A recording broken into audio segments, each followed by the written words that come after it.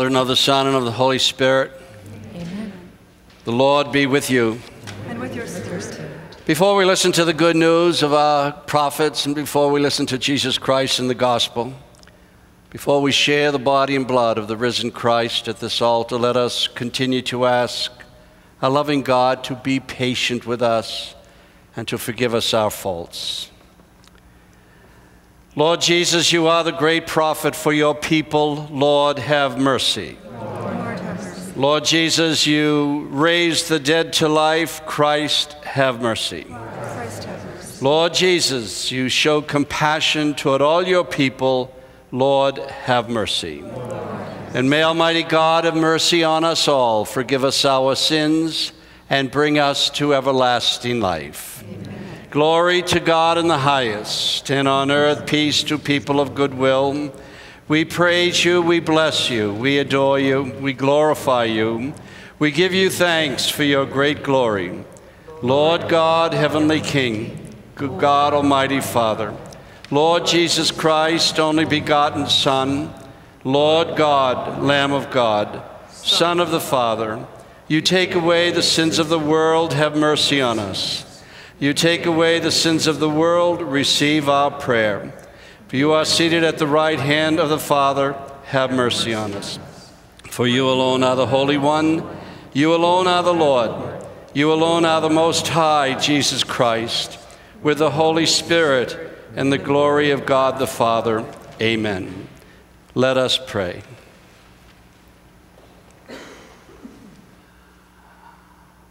O loving God, who in the abasement of your Son have raised up a fallen world, fill your faithful people with holy joy. For on those you have rescued from slavery to sin, you bestow eternal gladness. We ask this through Christ the Lord. Amen. A reading from the book of the prophet Isaiah. Thus says the Lord Rejoice with Jerusalem and be glad because of her, all you who love her.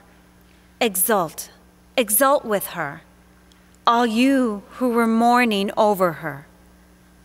Oh, that you may suck fully of the milk of her comfort, that you may nurse with delight at her abundant breast. For thus says the Lord Lo, I will spread prosperity over Jerusalem like a river, and the wealth of the nations like an overflowing torrent. As nurslings, you shall be carried in her arms and fondled in her lap, as a mother comforts her child so will I comfort you. In Jerusalem, you shall find your comfort. When you see this, your heart shall rejoice, and your bodies flourish like the grass. The Lord's power shall be known to his servants. The word of the Lord. Thanks be to God.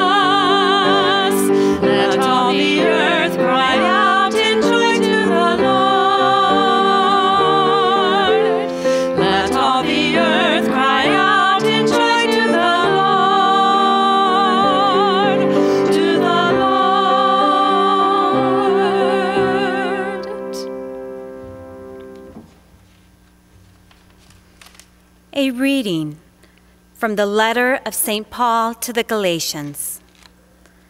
Brothers and sisters, may I never boast except in the cross of our Lord Jesus Christ, through which the world has been crucified to me, and I to the world. For neither does circumcision mean anything, nor does uncircumcision, but only a new creation. Peace and mercy be to all who follow this rule and to the Israel of God.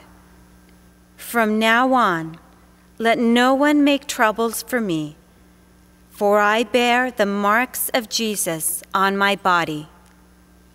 The grace of our Lord Jesus Christ be with your spirit, brothers and sisters. Amen. The word of the Lord. Thanks be to God.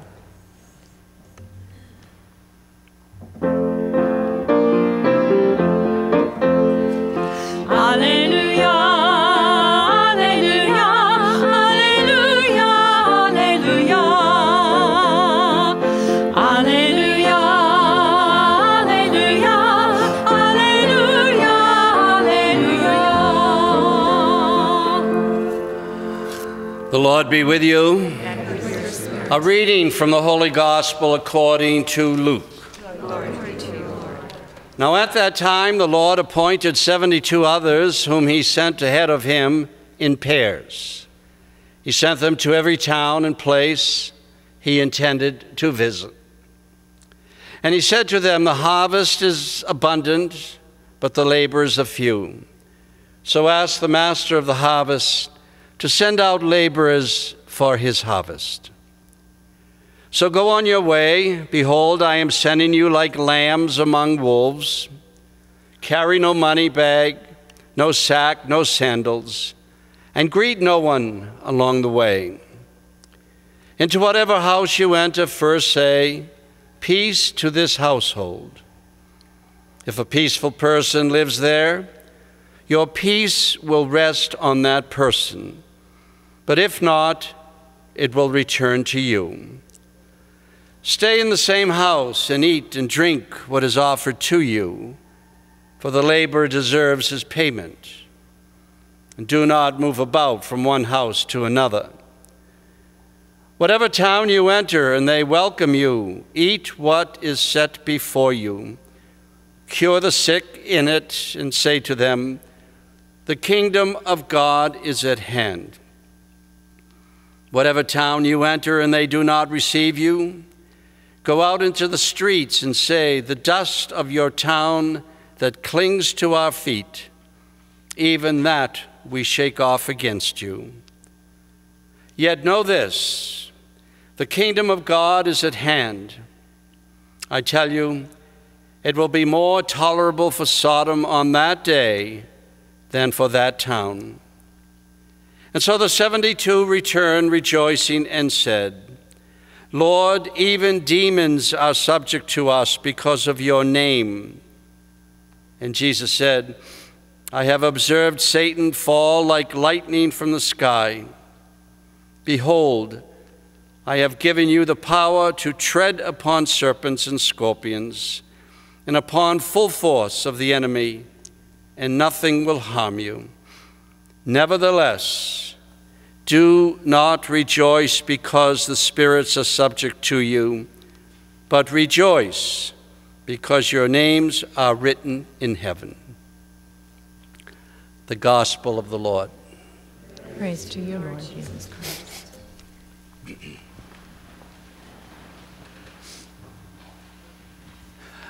Jesus makes it very clear in the Gospel that not just the apostles, not just the disciples, but all of us, all of us who call ourselves Christians and decide to follow Christ, have an obligation to share the good news. Now, I want to uh, mention something that you people do very, very uniquely. Now, we begin this first weekend in July, and I want you to try to think of what we do here on these TV masses.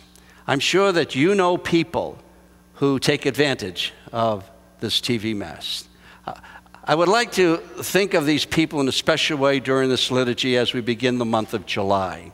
Now, I know that you have some special friends who cannot get to church, but using the TV masses. I have a very, very special friend. He's very, very incapacitated at the moment. His name is Joel. And he's had some bad luck at this particular time. And I know that he watches these masses every Sunday. And this is spreading the good news. I want you to realize that this is a wonderful ministry that we have here in our diocese, the TV liturgies.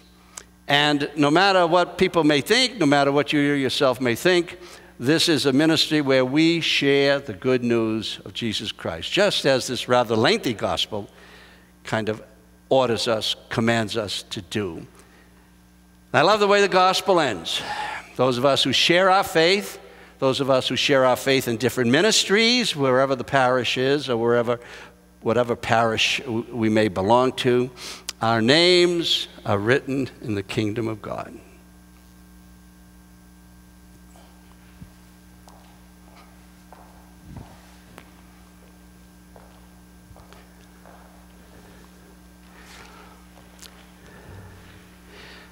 Let us profess our faith by professing the Apostles' Creed.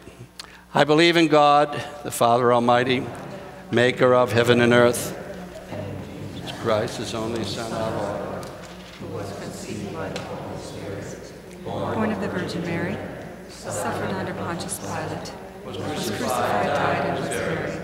He descended into hell. On the third day he rose again from the dead. He ascended into heaven and is seated at the right hand of God, the Father Almighty. From there he will come to judge the living and the dead. I believe in the Holy Spirit, the Holy Catholic Church, the communion of saints, the forgiveness of sins, the resurrection of the body, and life everlasting.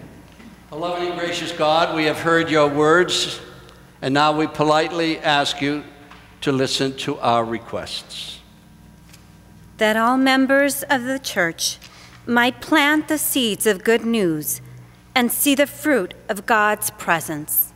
We pray to the Lord. Lord, hear our prayer. That all peoples of the world share in the abundant harvest of God's salvation. We pray to the Lord. Lord, hear our prayer. That the sick be healed, the sorrowful be comforted, and the distressed find peace we pray to the Lord. Lord, hear our prayer. That each of us may rejoice at being chosen to labor in God's kingdom. We pray to the Lord. Lord, hear our prayer. We thank you for listening to us, O gracious God. You so often call us your little children in the scriptures. And so we ask you, as little children, grant us an answer to all our requests, which we make in the name of Jesus the Lord, who lives and reigns forever and ever. Amen.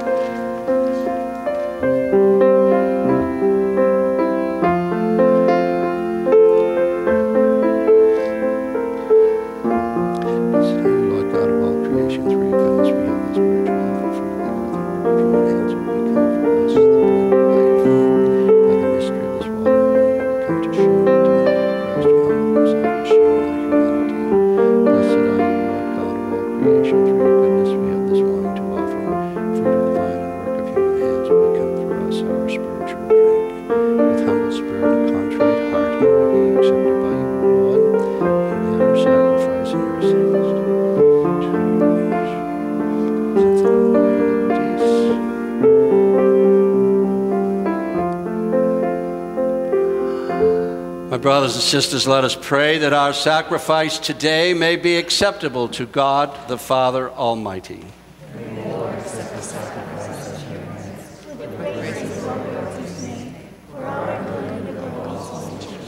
O gracious God, may this oblation dedicated to your name purify us, and day by day bring our conduct closer to the life of heaven. We ask this through Christ the Lord. The Lord be with you. With Lift up your hearts up and let us give thanks to our loving God. It is right and just. It is truly right, it is truly just, our duty, our salvation, always and everywhere, to joyfully give you thanks, Holy Father, Almighty and eternal God, through Jesus Christ our Lord. For through his paschal mystery, he accomplished the marvelous deed by which he has freed us from the yoke of sin and death, summoning us to the glory of being now called a chosen race, a royal priesthood, a holy nation, a people for your own possession, to proclaim everywhere your mighty works. For you have called us out of darkness into your own wonderful light. And so, with all the angels and the archangels and all the dominions and all the saints, as they sing to your glory, as without end we also acclaim.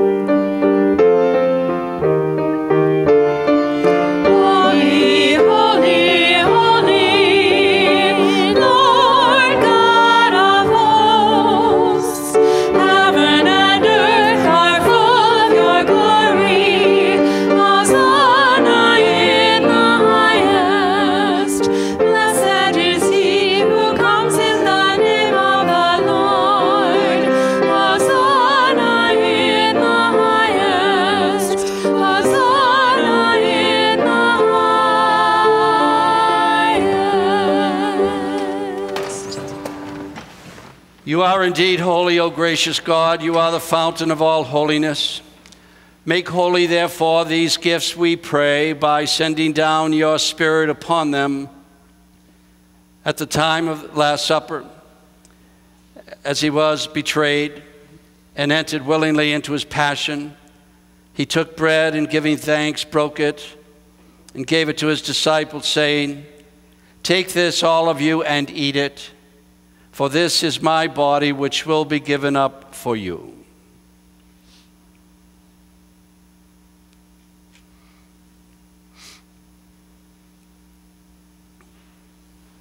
In a similar way, when supper was ended, he took the chalice and once more giving thanks, he gave it to his disciples, saying, Take this, all of you, drink from it.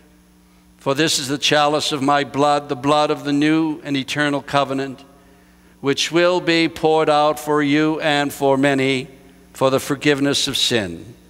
Do this in memory of me.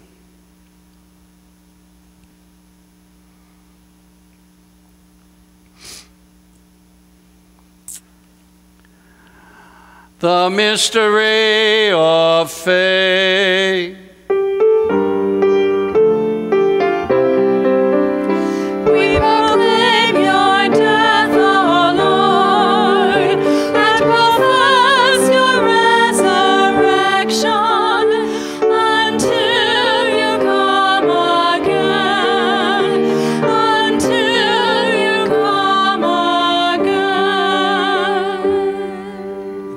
As we celebrate the memorial of his death and resurrection, we offer you, O gracious God, the bread of life and the chalice of salvation, giving thanks that you have held us worthy to be in your presence and minister to you.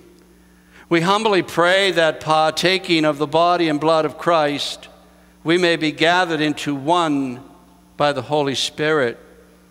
Remember your church, all the people of God spread throughout the world, and bring her to the fullness of charity, together with Pope Francis, Joseph, our bishop, and all the clergy, all the people of God. Remember also our brothers and sisters who have fallen asleep in the realization of rising again. Welcome them into the light of your face. We pray for ourselves.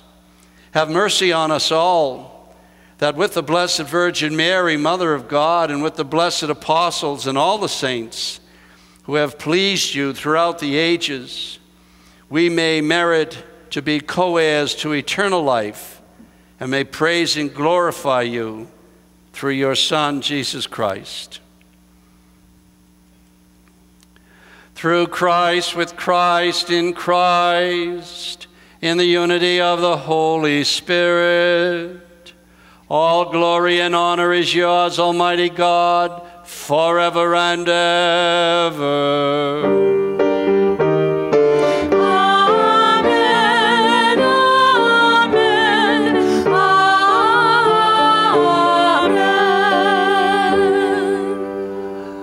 Let us pray the way Jesus taught us to pray. Our Father, who art in heaven, hallowed be thy name. Thy kingdom come, thy will be done, on earth as it is in heaven. Give us this day our daily bread, and forgive us our trespasses, as we forgive those who trespass against us. And lead us not into temptation, but deliver us from evil. Deliver us from every evil. Grant us peace today, that by the help of your mercy we may be always free from sin, safe from all distress, as we await the blessed hope and the coming of our Savior Jesus Christ. For the kingdom, the power, and the glory are yours forever. Lord Jesus Christ, you once said to your apostles, I leave you peace, my peace I give to you. Look not on our sins, but on the faith of your church, and graciously grant her peace and unity in accordance with your will, you who live and reign forever and ever. Amen. May the peace of the Lord be with you always, and, and let us offer each other the sign of peace.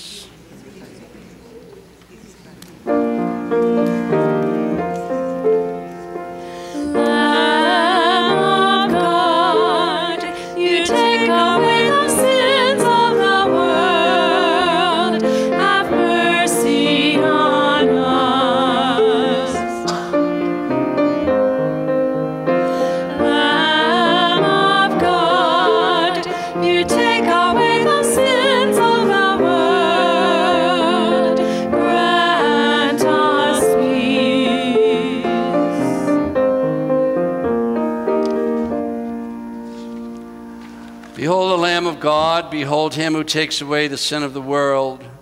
Blessed are those called to the supper of the Lamb.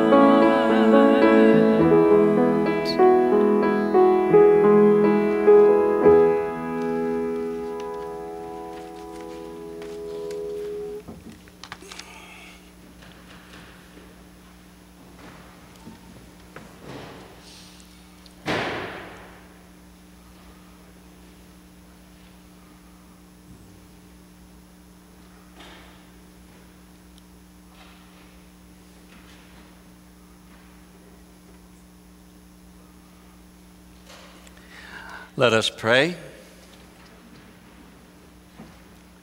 Oh, gracious God, we pray that having been replenished by such Eucharistic gifts, we may gain the prize of salvation and never cease to praise you. We ask this through Christ the Lord. Amen. The Lord be with you. And with your spirit. And may Almighty God bless you and your families, the Father, the Son, and the Holy Spirit. The Mass is ended, so let us go to love and serve one another.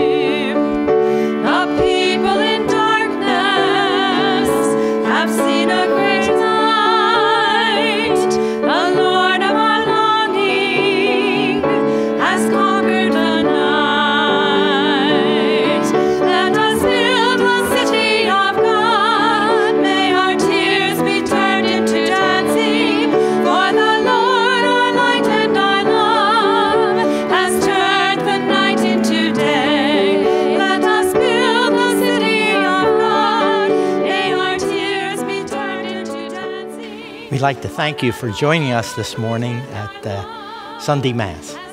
It's an opportunity for those shut in and those in hospitals and nursing homes to have an opportunity uh, to share in the celebration of Sunday, the Sunday Mass.